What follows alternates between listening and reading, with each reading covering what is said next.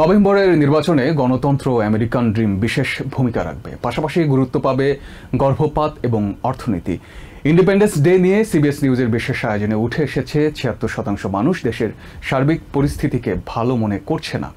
Supreme কোর্টে rho view ওয়েড উল্টে দেওয়ার বিষয়টি মানতে পারছে না, চৌষট্টি শতাংশ। বিভিন্ন জরিপে অংশ নেওয়া সাধারণ মানুষ বলছে, গণতন্ত্র মানেই শুধু ভোটাধিকার কিংবা আসন বিন্যাস নয়, বরং এটা এক ধরনের দায়িত্ববোধ।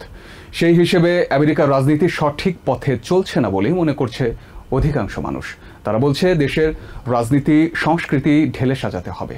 একই চ্যানেলে সবশেষ জরিপ বলছে বিতর্কের পর জাতীয়ভাবে ও ব্যাটল গ্রাউন্ড স্টেটগুলোতে প্রেসিডেন্ট জো বাইডেনকে জনসমর্থনে পেছনে ফেলেছেন সাবেক প্রেসিডেন্ট ডোনাল্ড ট্রাম্প চলতি বছরের শুরুতে সিবিএস নিউজ ও ইউগভের জরিপে উঠে আসে দেশের গণতন্ত্র হুমকির মুখে বলে মনে করেন সত্তর শতাংশ মানুষ। জুন মাসে সেই চিত্র আরও ভয়াবহ হয়ে উঠেছে। দেশের রাজনীতি কেমন চলছে? এমন প্রশ্নে সাম্প্রতিক জরিপে অংশ নেয়া মাত্র সতেরো শতাংশ বলছে দেশের অবস্থা ভালো। Floor is one of those 8 in 10 Americans who think the political system needs big changes. বাকি তেপ্পান্ন শতাংশের মত রাজনীতিতে মৌলিক পরিবর্তন প্রয়োজন। তিরিশ শতাংশ তো বলছে রাজনৈতিক সংস্কৃতি পুরোপুরি ঢেলে সাজাতে কারণ অভিজাত বা এলিট শ্রেণির হাতে চলে গেছে এর কর্তৃত্ব। তাই তো নভেম্বরের নির্বাচনে গণতন্ত্র এবং আমেরিকান ড্রিম ব্যালটে জায়গা করে নেবে.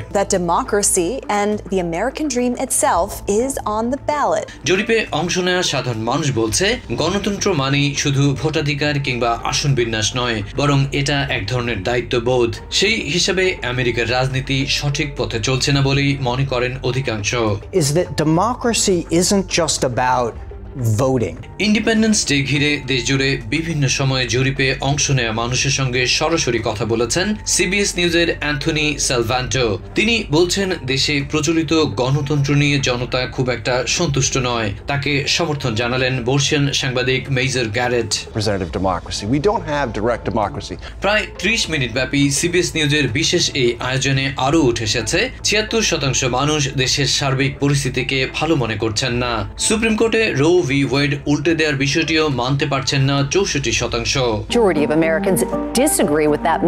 তাই আসছে নভেম্বরের নির্বাচনে গণতন্ত্র ও আমেরিকান ড্রিম ব্যালটে বিশেষভাবে জায়গা করে নেবে তেমনি গুরুত্ব পাবে গর্ভপাত এবং অর্থনীতি মজার বিষয় হচ্ছে মোটা দাগে গণতন্ত্রের জন্য ট্রাম্পকে হুমকি মনে করা হলেও কেউ কেউ কিন্তু ভাবছেন গণতন্ত্র কেড়ে নেওয়ার ক্ষেত্রে ডেমোক্রেটরাই দায়ী we have to start cutting somewhere. Inflation is, is. তবে অর্থনৈতিক দুর্দশায় ঢালাওভাবে প্রেসিডেন্ট জো বাইডেনকেই দায়ী করছে গড়পড়তা মানুষ। নারীর অধিকার কেড়ে নেয় ট্রাম্পের ওপর অসন্তুষ্ট বড় একটা অংশ. সব মিলিয়ে বাইডেনের বয়সকে দায়িত্ব পালনে বড় বাধা হিসেবে দেখছেন দলমত নির্বিশেষে ভোটাররা। কেউ কেউ অবাক করা অভিমত দিয়েছেন। বলেছেন দুই প্রার্থীর কাউকেই তারা নির্বাচনে দেখতে চান না।